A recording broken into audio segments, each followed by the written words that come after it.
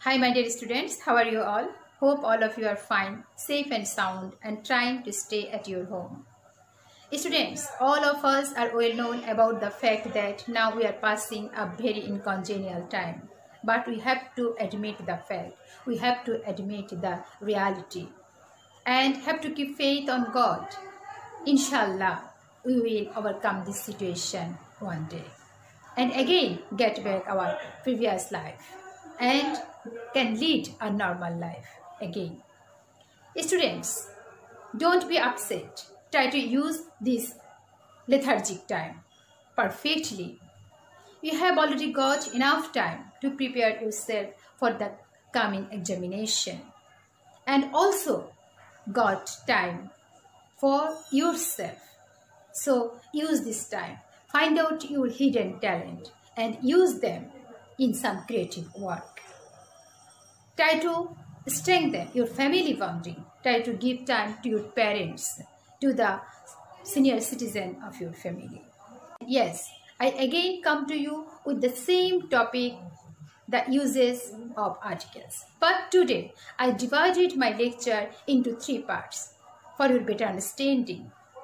At first, I will complete, I will finish the remaining portion of my previous class. In my previous class, I discussed on the uses of definite articles the. It is my fourth class on articles and today at first I will discuss the remaining rules or remaining conditions of using definite articles the.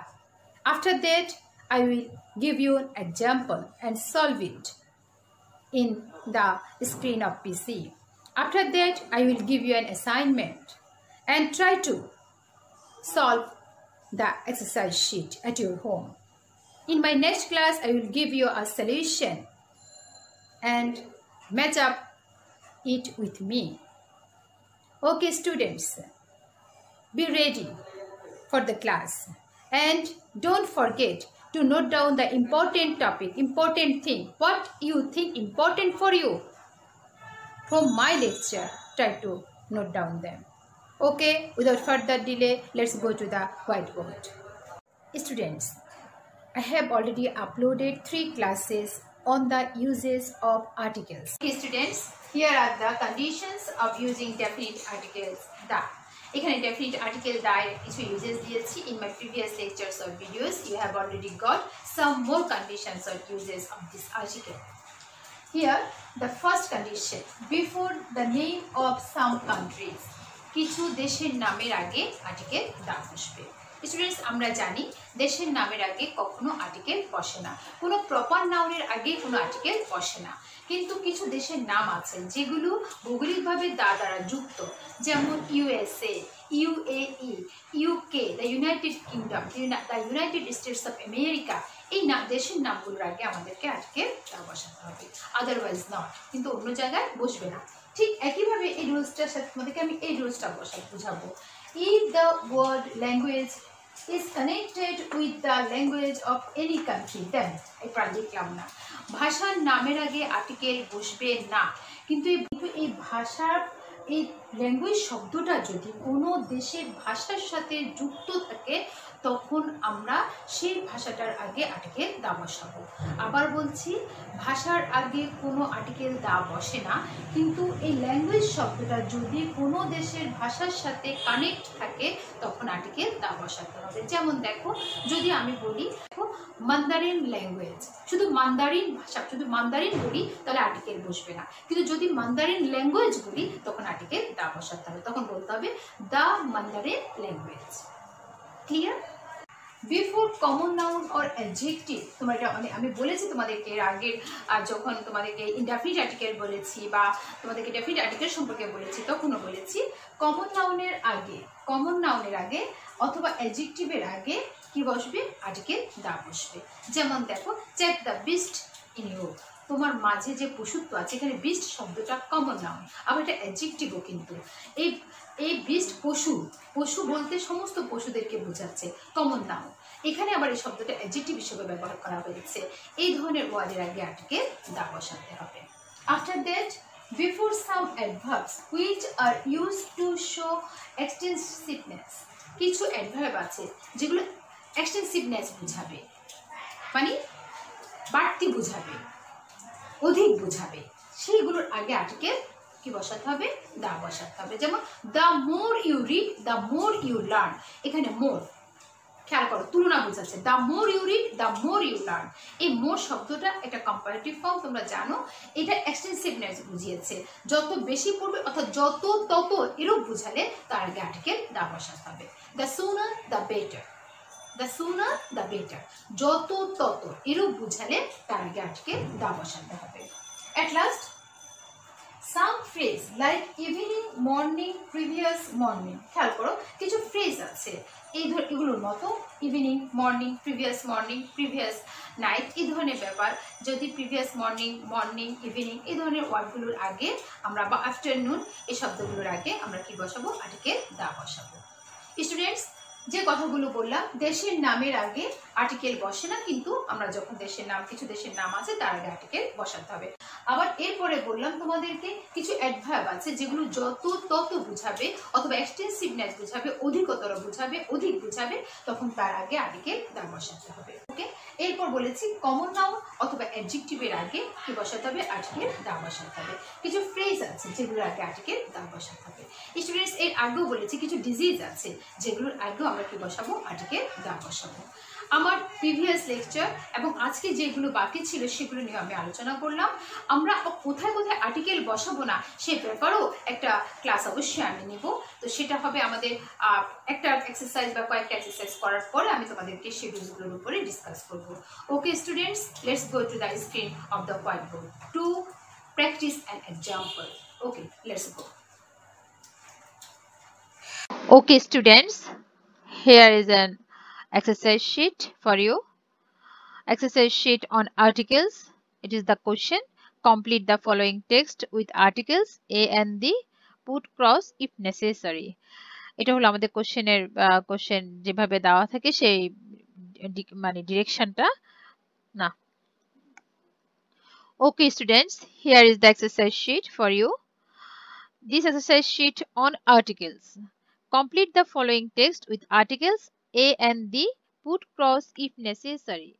Students, এখানে আমি তোমাদেরকে চারটা article দিয়েছি সেই চারটা আর্টিকেলের এই exercise শিটটা থেকে আমি তোমাদেরকে ফার্স্ট ওয়ান তোমাদেরকে আমি এখন বুঝিয়ে দিব আর বাকি যে তিনটা থাকবে এটা তোমাদেরকে অ্যাসাইনমেন্ট হিসেবে দেয়া হলো তোমরা বাড়িতে এটার হোম টাস্ক হিসেবে করে নিবে এবং নেক্সট ভিডিওতে আমরা সেটা একসাথে সলভ করব, মিলিয়ে নিবে তোমরা আমার সাথে। So let's start the first one articles are of dash two types এখানে যে কথাটা বলেছে, এই জায়গায় আমাকে আর্টিকেল বসাতে হবে। আমরা এ অর্থ একটি জানি অ্যান অর্থ একটি জানি, আবার দা দ্বারা আমরা জানি কোনো কিছু নির্দিষ্ট করে যদি বলে, সেখানে আর্টিকেল বসবে।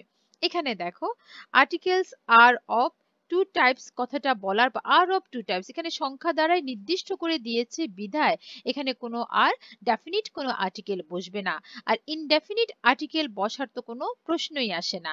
তাহলে এই জায়গায় আমাদের কি বসবে? এই জায়গায় আমাদের বসবে ক্রস তাহলে articles are of two types তাহলে এখানে আমি কি বসাবো?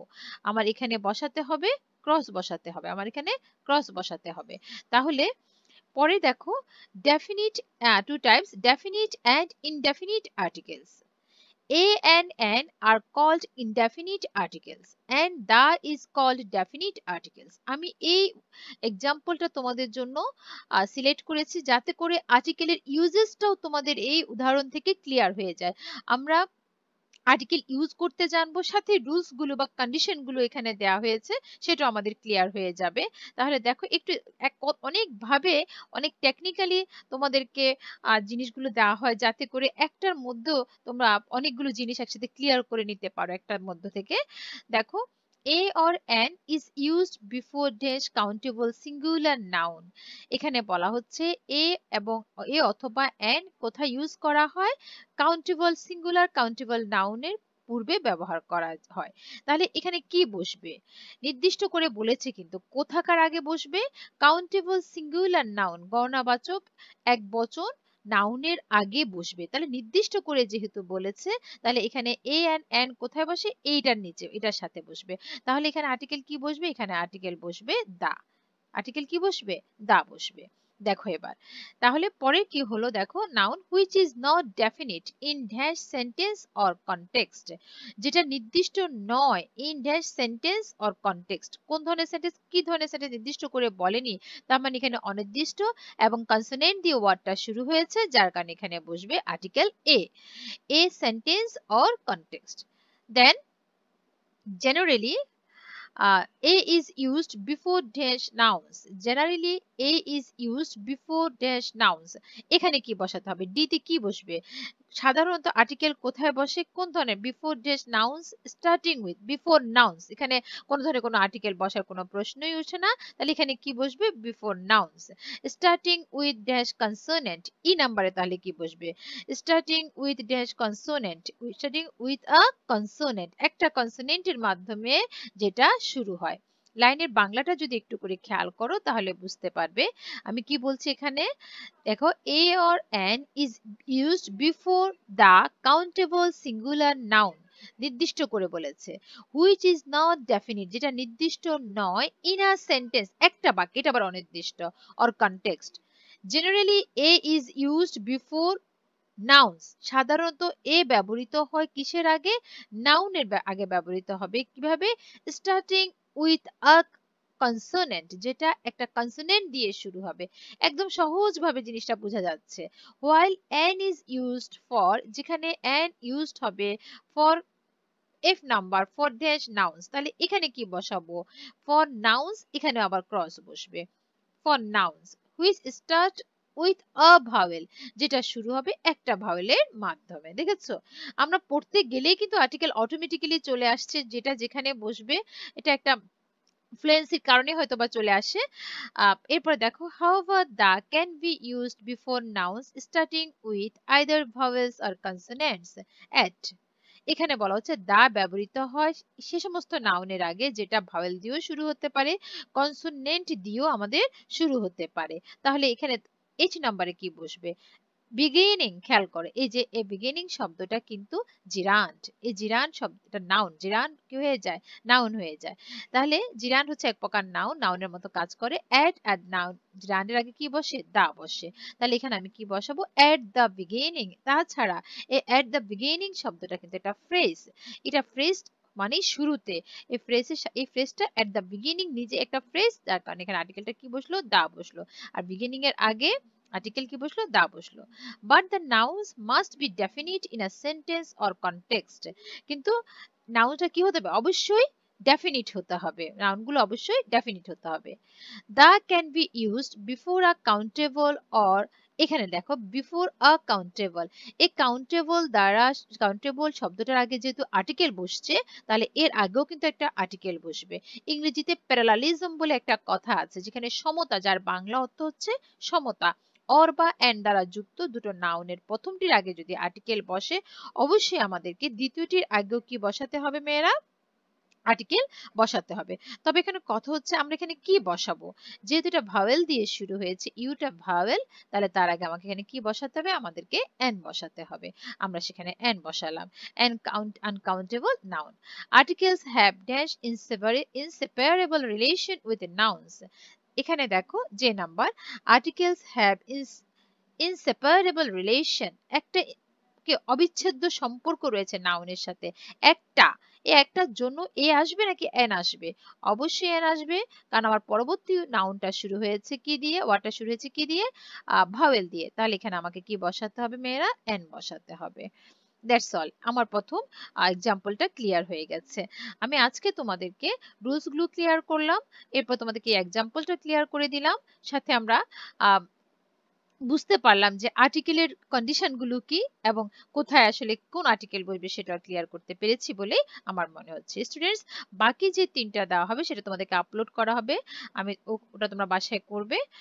সো আজকে ক্লাস এ পর্যন্ত। That's all for today see you in my next class with a new uh, okay okay? Till thank you you. Thank you bye bye